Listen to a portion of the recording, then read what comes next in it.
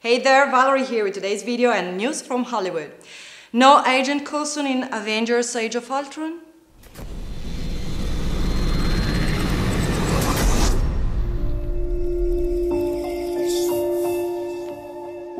We have mac and cheese for lunch, then we have meatloaf for dinner. We go to bed, wake up tomorrow and do the exact same thing.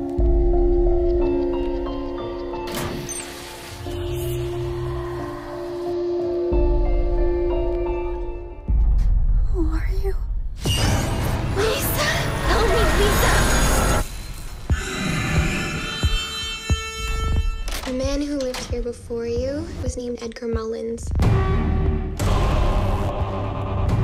He murdered all those girls over the years. I found this in the garage. That's how we connected.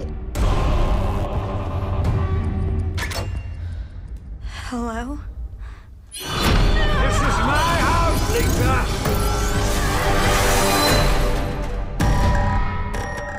He trapped us all in this house. He wants us to be asleep. We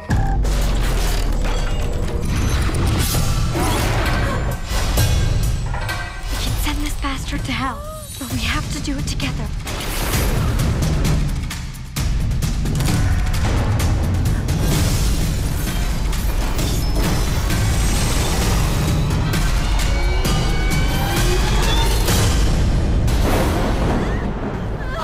I always do enjoy killing you.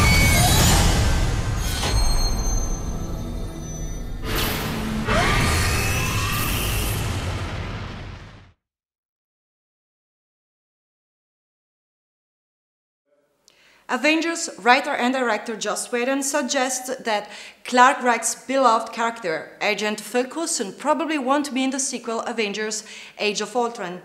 In an interview at San Diego Comic Con, Whedon was asked if Coulson will return for Avengers 2. He could. Right now, it's not something I'm pursuing because I have so much going on in Avengers 2. Finding out that Coulson is alive will be an entire B story, and I already have too much movie. That's better than the other thing.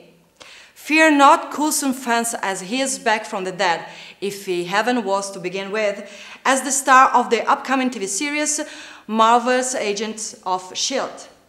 That's all for today. Keep it tuned to our channel for all your trailers and movie news. See you next time.